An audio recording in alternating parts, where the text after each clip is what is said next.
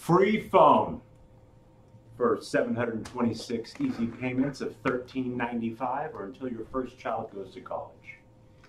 Listen, we're we're illustrating this to you guys because not because we're giving away free phones, but how many times have you seen something that's too good to be true? How many times have you saw an opportunity that you thought, man, that would be so awesome, and you start, you know, focusing on it and dreaming about it, only to find out there's a bunch of strings attached. It's the same thing when you're out there and you're on some of these home buying websites and you're trying to figure out a price that you want to buy in a neighborhood that you want. You're even checking out the schools and you, you haven't even had an opportunity to get pre approved yet by a lender. There's a lot of things that are involved in buying a home that you might not be thinking about. Yeah, some of the most important are what can you afford, right? What does your paycheck allow you to afford? But more important than that, what can you afford? What can your family afford? And what makes sense for you?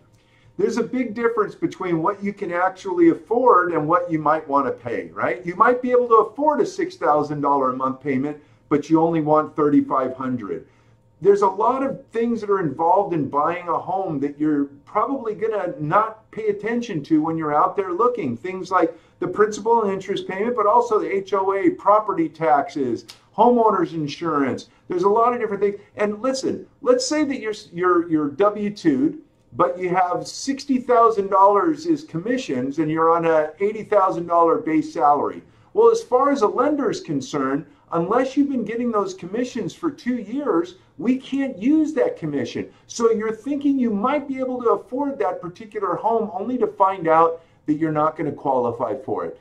The best thing that you can do for you and your family before you get started is to talk to a lender. Come to our upcoming Brunch and Learn. It's at www.brunchandlearn.net. Sign up you're going to learn everything there is to know about buying a home. You're going to learn about the different programs. You're going to, we're going to talk about down payment assistance. We're going to be talking about uh, homes for vets. We're going to be talking about improving your credit score. It's and there's a ton of great food. We're going to do it, and you're going to enjoy yourself while learning. So go to brunchandlearn.net. We're going to see you soon.